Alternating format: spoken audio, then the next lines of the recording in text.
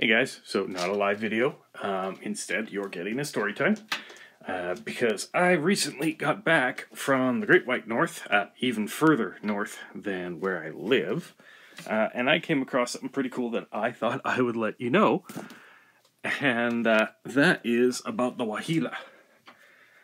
Now, some of you might know what it is, some of you might not. Basically, um, I'll let you know what it is, and I'll tell you why I came across it.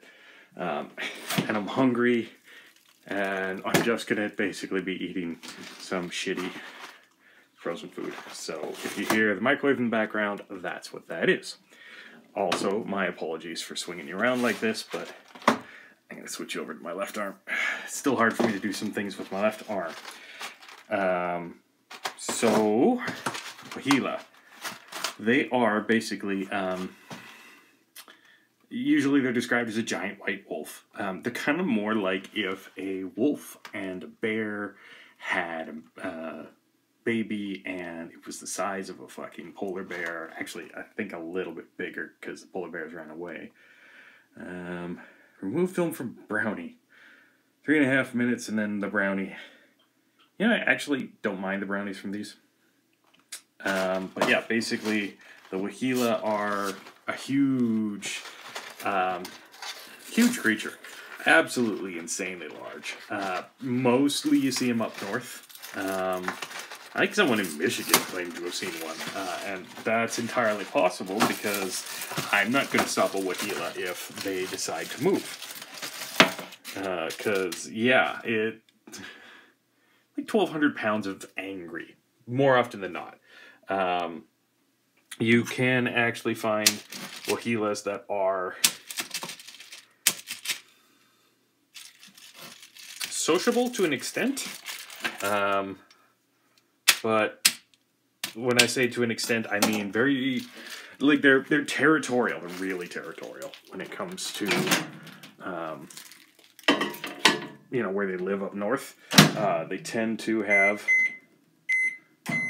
huge swaths of land um, that uh, actually some of the territory kind of overlaps.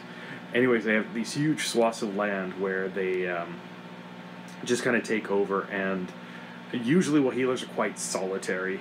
Um, they might kind of look like a huge dire wolf or something like that, but they aren't very wolf-like. But like I said, you can occasionally find some that are sociable, and usually those will be the ones that will have decided to go somewhere more southern.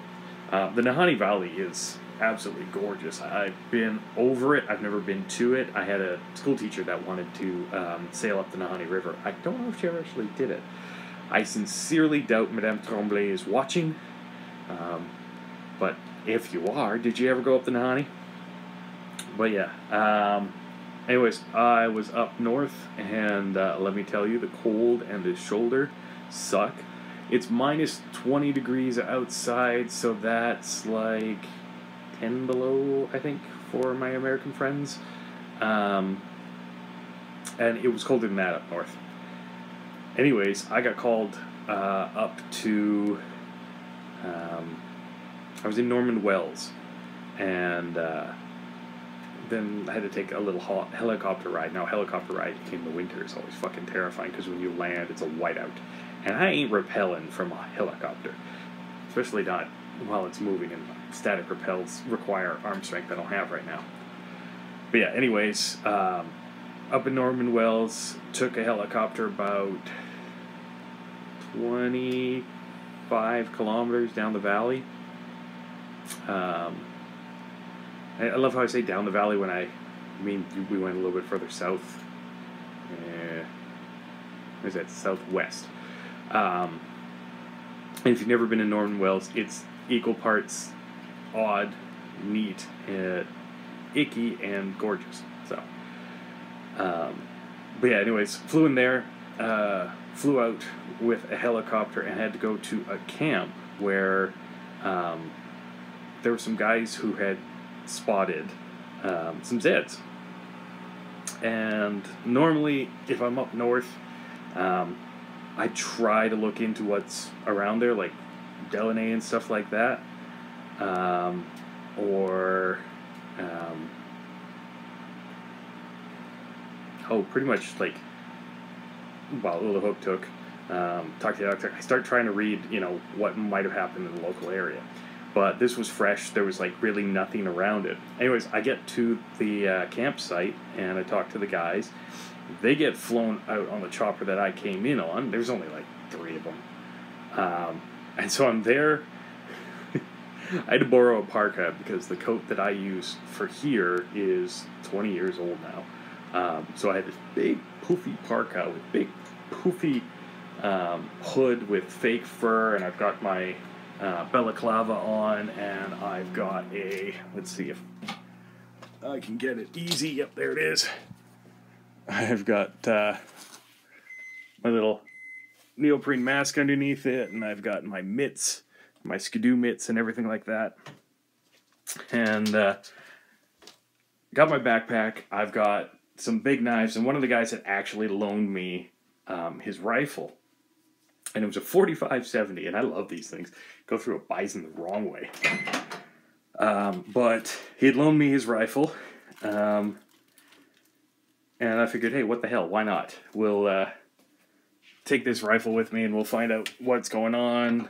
Um, you know the reasons why I normally don't carry a firearm, but it's the north, and honestly, a lot of times when you're going through spots in the north, uh, you're basically required to carry a firearm.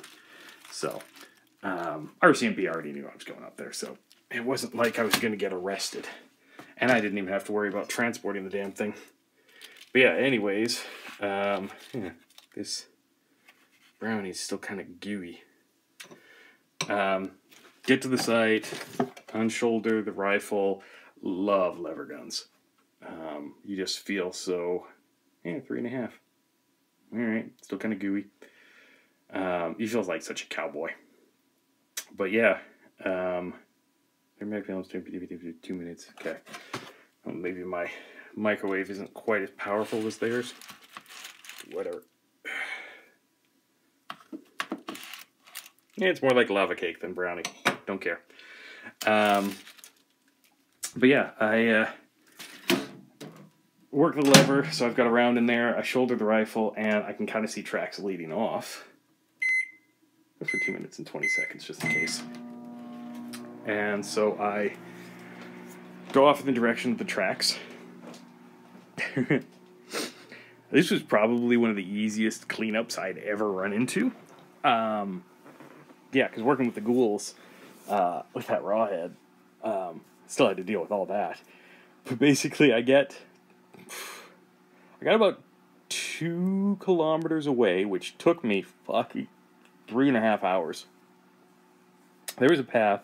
I had snowshoes, but don't let anyone tell you when you're hiking somewhere, um, especially up north, that it's not going to take forever. Uh, I say it was two kilometers, probably more like a kilometer and a half.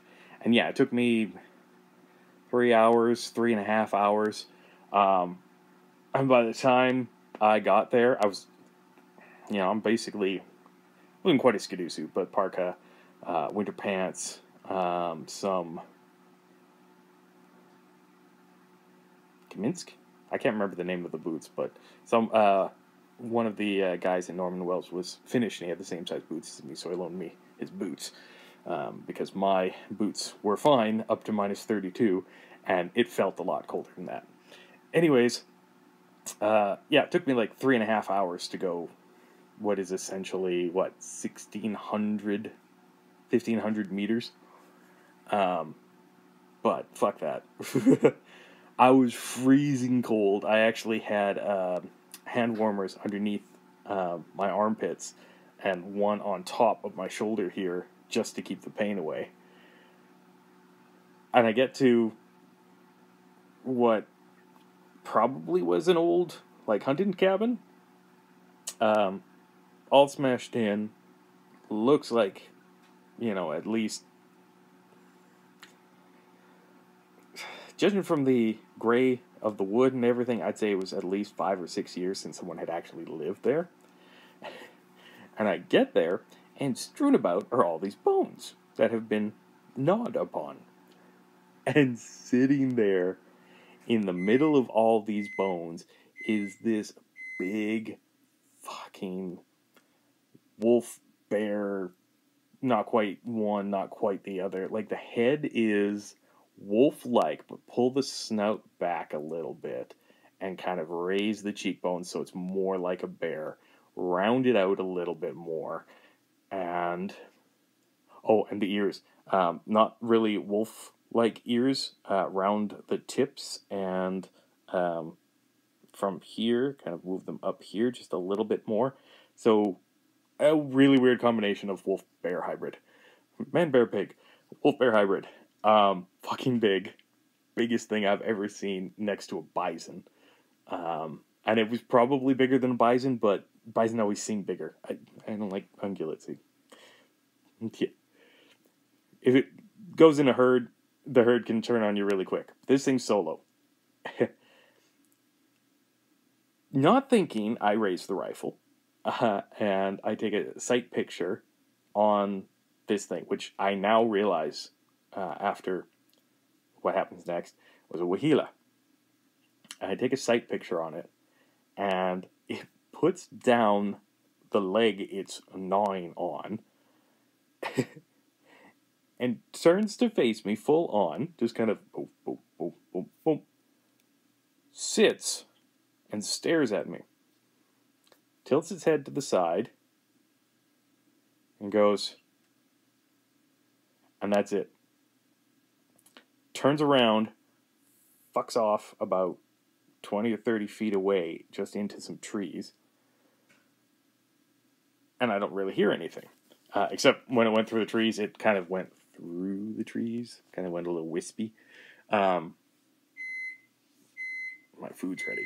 Uh, so, rifle to my shoulder. I start walking in. I look around, and there's just scattered bones, the occasional chunk of meat uh, still attached to some legs, uh, the ribs. Um, the heads are all like completely stripped. So I started thinking, like, what the fuck was going on here? All of a sudden, out of where the Waheela had walked off, in walks an Inuit woman, pretty much dressed like you would see in like a tourist outfit. Um, I have been to the north. I have met many Inuit people. I have eaten seal eyeballs. Um, you know all that shit. That was a weird one. I think I've told you guys about that before. But yeah, uh, she comes out, starts talking to me, um, barely, barely accented. Um, she actually starts off with English or French. I went either because my jaw just hit the floor. Just like five foot two, five foot three.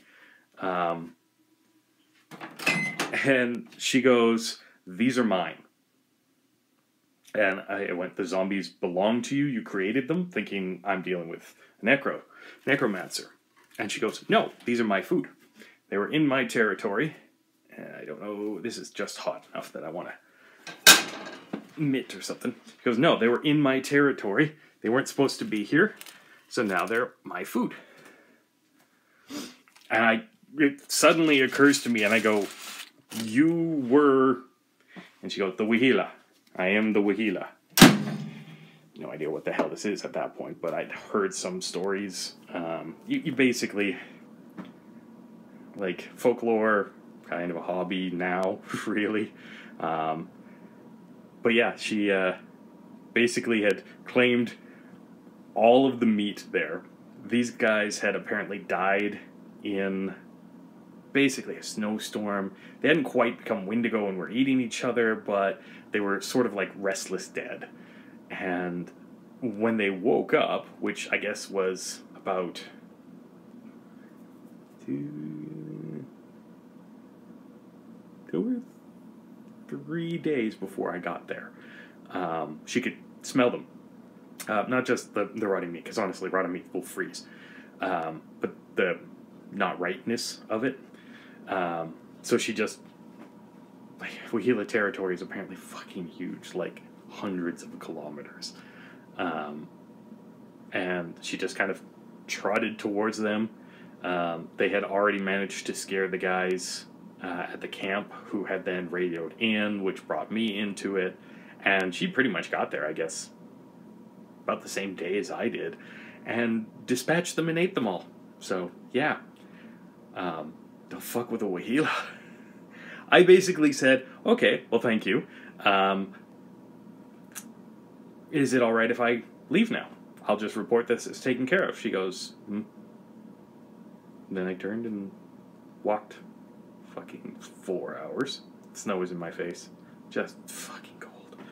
Uh, back to camp. Uh, radioed the guys, and uh, yeah, thankfully the um, the camp guys had left some of their uh, equipment around, so I was able to uh, warm up for about five minutes before the helicopter showed up, and then yeah, the Explorer Hotel, really really nice, comfy bed.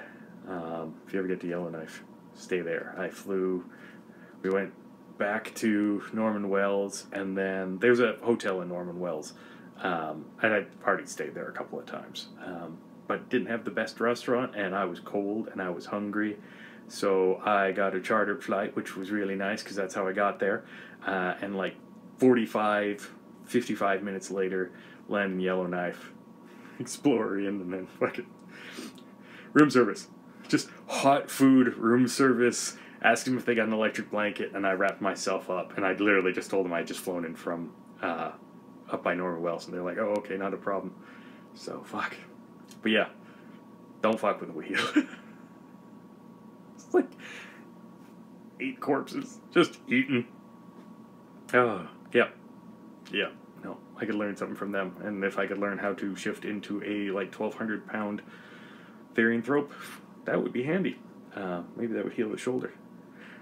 Ah, well. Anyways, thanks for listening. Um, just remember, Canada's great, except for the zombies, and don't fuck with the Waheela. Bye, guys.